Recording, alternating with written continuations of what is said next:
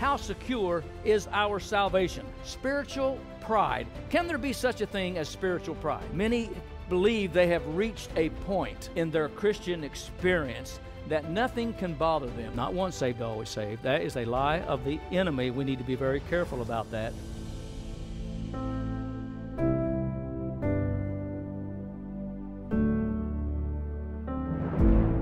Thank you for joining us once again here Behold the Lamb. You heard already about the, the title of the subject Once Saved, Always Saved.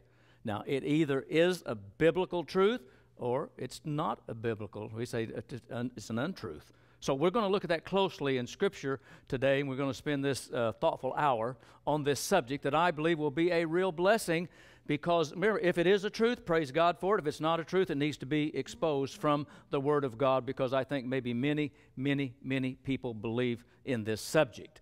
So before always that we uh, present the Bible, before we open up the pages of this beautiful book, we pray. And I'm, I'm just, I'm believing that you're praying at home, and I'm going to be praying right here. I'm going to kneel and ask God's blessing upon His Word. So let's pray together, shall we? Loving Father in heaven, truly we thank you for your love and your mercy. Now we invite thy Holy Spirit. Lord, what an important subject this is, and we pray that our hearts and minds will be open, that we may receive this teaching from the Holy Spirit. Bless us, we pray. Now may the things of earth grow strangely dim as we sit at your feet. We pray that you will speak, and so we may hear. In Jesus' name, amen. Again, make sure you have your Bible and pencil and papers out, everything, so you can jot down. There's a lot of information to cover. I doubt that we get through. You know, we're just again, touching on the edges. Once saved, always saved. Uh, very familiar uh, verse in the Bible, and I want us to remember. And this was our scripture reading, and that's found in 1 Corinthians 10 12. Now remember, 1 Corinthians 10 12. This was put there in the Bible for, for a reason. For a reason. And you'll notice as we again go over it, 1 Corinthians 10 12. Wherefore let him that thinketh what? That he standeth take heed lest he fall. Because there's a lot of people say, oh, that no matter what the devil throws at me, it doesn't matter. You know, we're going to beat the devil up. Well, remember, we need to be very careful about the statements that we make. Certainly, we serve a God that is able, and I think in this study that we'll go through and prove beyond a shadow of a doubt God wants us to be saved. He wants us in the kingdom. He's made every preparation that we can be there, and salvation can be assured to His people. But how far do we go with that assurance? Do we go farther than God has wanted us to go, or do we go as far as He wants us to go? In once saved, always saved. You know, Scripture warns us always as we read to be on guard that we are not deceived. Over and over, right? You read in the Word, what does it say? Especially Matthew 24. Don't be deceived. Some of the first words Jesus spoke to the disciples when they wanted to know of His coming and what would take place. He said, Be careful that you're not deceived. Because he knew the enemy would be out to do what? To deceive, or the enemy would be out and take a, a, truth in the Bible, and then he would what? He would change it just a little bit so that would deceive people into thinking maybe that they are a little bit better than they are. Or maybe they just don't need any help. Everything is all right because many years ago they gave their heart to God. Interesting when you think about it. Many believe they have reached a point in their Christian experience that nothing can bother them, nothing can shake them off of the platform. Have you ever met someone like that?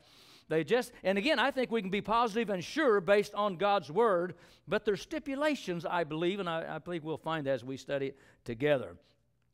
You know, is, is there such a thing? This is a question. Is there such a thing as, uh, oh, I'm not living, and I've heard people say it, I'm not living as I should, but I believe if something happens, I'll make it to heaven.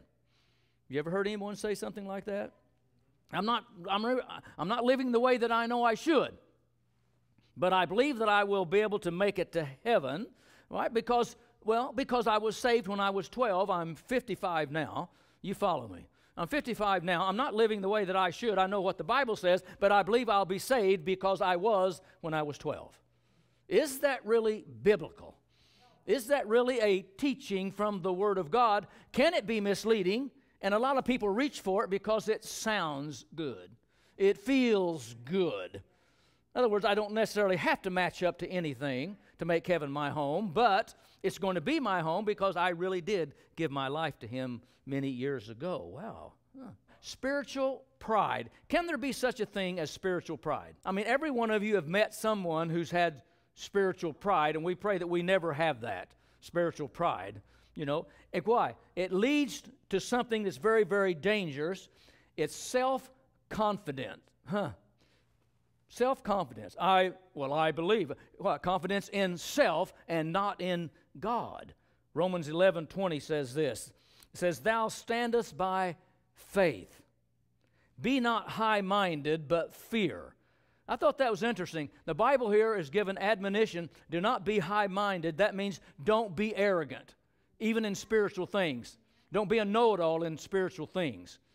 If we understand God, we understand heaven, understand the Word just a little bit, we'll realize there's a whole lot that we don't know, much more than we don't know, than we know. And then what we know, we think we know, it's very just scratching the edges and we'll be learning through all eternity. So we don't want to be high minded, the Bible says, but fear. I can think of one individual, many in Scripture. We'll just give one illustration because of our time.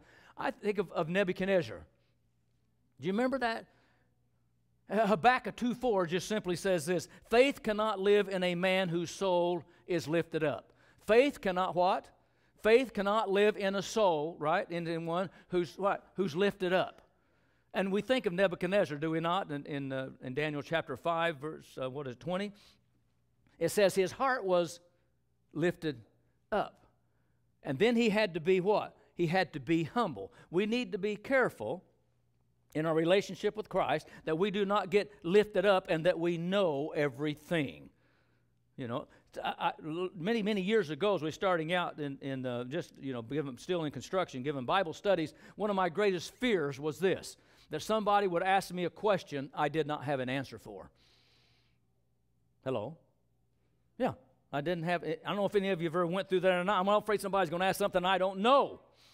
But you know, the Lord gives you what? Give you wisdom on those things to simply say you will not always have the answer. Some people come from so many different diff- directions that's not even a biblical direction. How can you have a biblical answer? And so the Lord says to me, Kenny, you know, the next best thing to knowing the answer is what? Is where to find it. The next best thing from knowing the answer is what?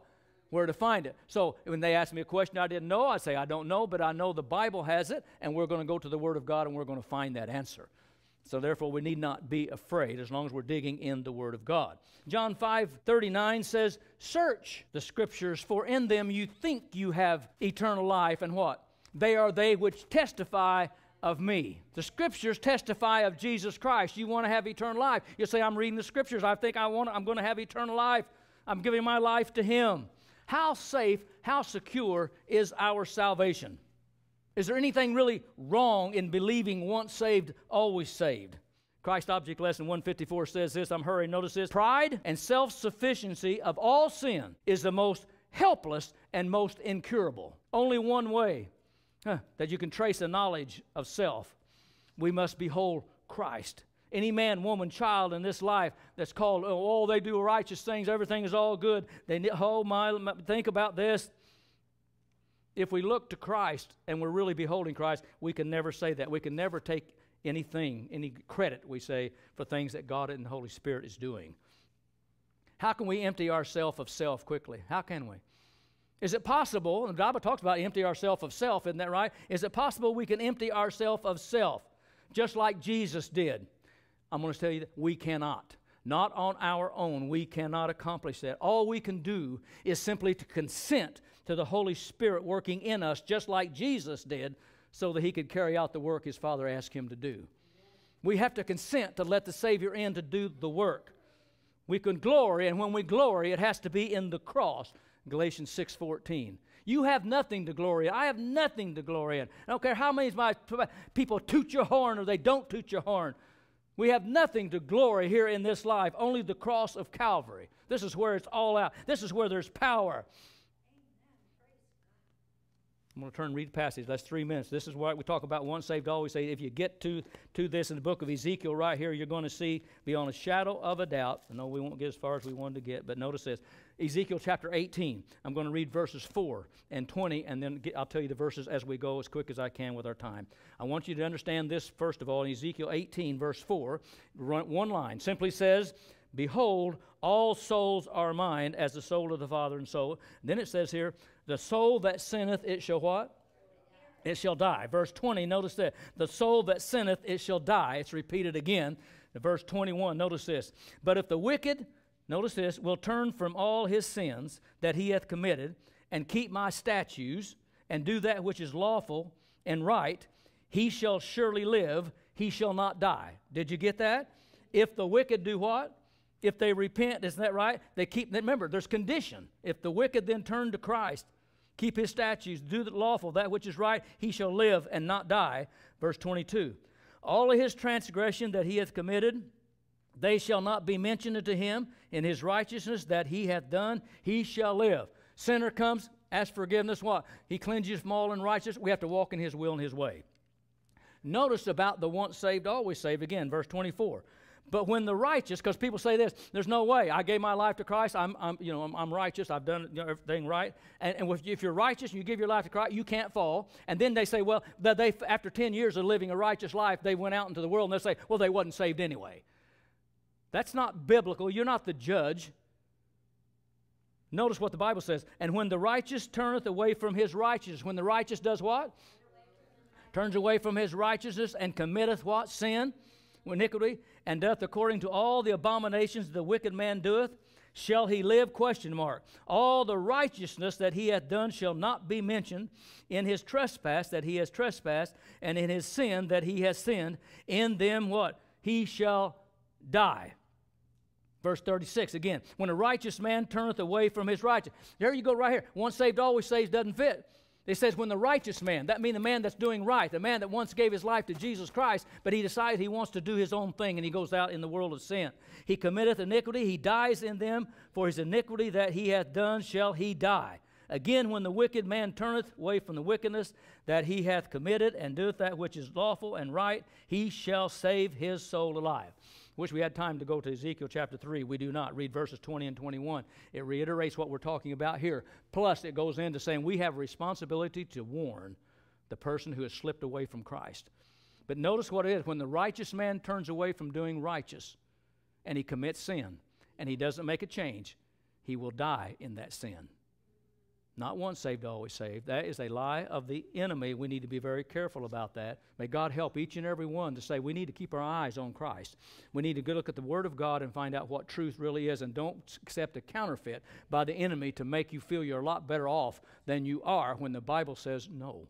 If we are Christ, we're going to live for Him. Isn't that wonderful to know that?